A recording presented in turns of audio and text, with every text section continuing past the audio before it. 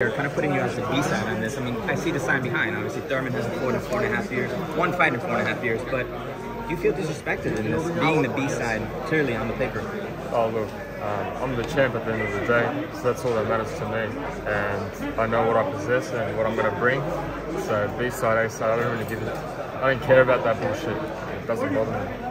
This is going to be your second fight here in the United States. You know, um, why do you feel that you can be a box office sensation here in the U.S. and break through in this market? Because you know what? Um, there's no more old school fighters these days here anymore. They're all a bunch of pussies. They, they fight once a year, and then they, they go on two year vacations. I I actually fight. Last year we did three shows with, uh, with Showtime, and uh, that was the most any fighter did in, in the whole year. So for me, it's just activity. I'm willing to fight anyone, uh, and uh, I do damage when I get in the ring. Tim, what did you think when you found out that it was Keith Thurman? Man, I got a video. I was so pumped. Eh? I was I was so excited, full of energy. This the whole occasion is, is, is something that you dream as a young kid. So for me to be performing at this stage with a caliber of opponent like Keith Thurman, uh, to have someone like that on your resume, it's it's it's, it's good. You think you're gonna get the, the credit because you mentioned activity. You fought three times, and Keith hasn't fought for a while, so he's moving up in weight. You know, it's a big name. Mm. Um, he's only lost to Manny Pacquiao, razor thin clothes. So, do you feel like the boxing fans are going to give you the, the, credit for this win, or is that just boxing in general? Oh look, I, I really don't care about the critics. You know, he's he's the one that's going to be in trouble, uh, not me. You know. Um, I can just keep fighting who I can, you know. Um, there's a, a, list of names. I feel like I'm John Wick and there's a list of names that I'm just trying to tick, tick, tick. And I, am like a Grim Reaper. I'm holding the, holding it and um, again, Keith Thurman will be just another name on the on the John Wick hit list. Who else is on that hit list? And man, there's plenty. I want I want the big names. I want the best fights. Uh, I'm not scared of no one.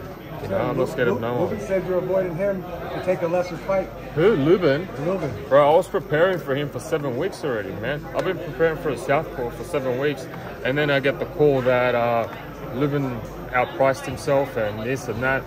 Well, what am I supposed to do? You know? And then they call me the next day and say, Keith Thurman, T-Mobile Arena, booked. I'm like, how good's this? It doesn't get any better, you know? When you think that give you the upper hand in this fight? Do you believe that? Activity, momentum, that's that that builds up everything. Of course. Of course. He's he's been I don't know what he's been doing, two years honeymoon probably, I don't know. Do you think a, a win over Thurman is gonna entice, you know, Terence Crawford? Uh, maybe to face you because I know that's been on your hit list. Yeah, well, me, I, I respect Crawford. I think he's uh, one caliber of a fighter, but we were in negotiation to fight. Uh, but this this fight came across first, and uh, I think me and Crawford will definitely collide in the future for sure, 100%. Tim, uh, what does it feel for you to be the main attraction for PBC's first show on Amazon?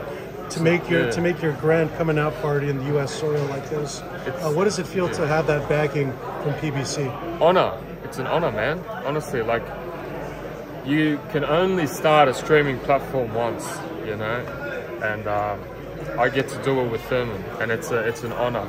Um, and I want to do it in spectacular fashion, you know, not just uh, a victory or tippy tappy victory. This is this is going to be spectacular. Does this kind of also uh, provide a preview of the big fights that they've promised to you moving forward? Of course, you know, there's so many names. The 154 pound uh, division is is red hot right now.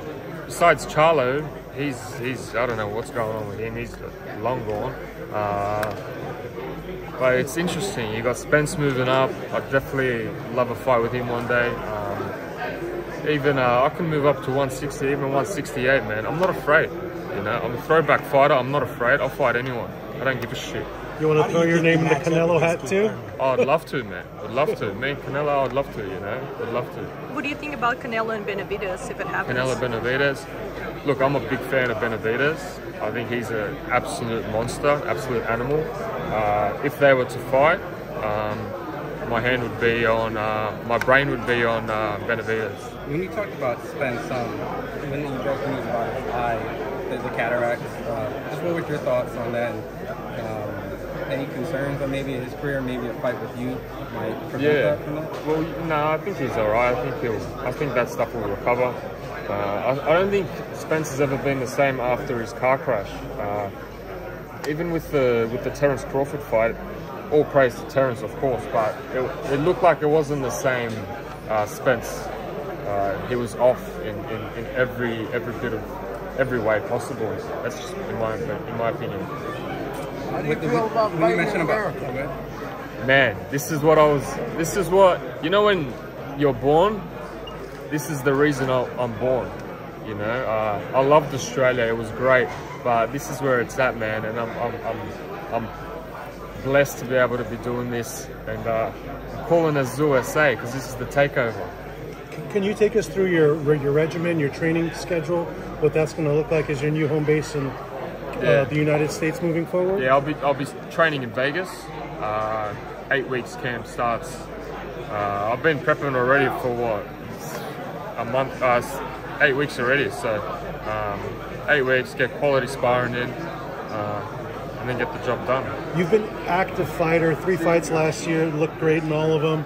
Thurman hasn't fought in two years. Do you think ultimately the secret to the sauce is going to be you being the active, fresher, younger fighter, No. just outworking him? No, it's not. That's part of it, but there's also other parts, and it's just going to be I'm that much better, and he's he's gonna he's gonna realize it.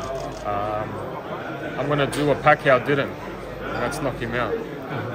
There, there, there's, there's a really big welterweight. Uh, you know, at some point he's going to enter 154. Ron Ennis. Yeah. Does, the, does that fight? Do you see that? You guys clashing one day? Yeah, one day for sure, man. One day for sure. Uh, once he moves up, look, I'll be moving up to 160 as well.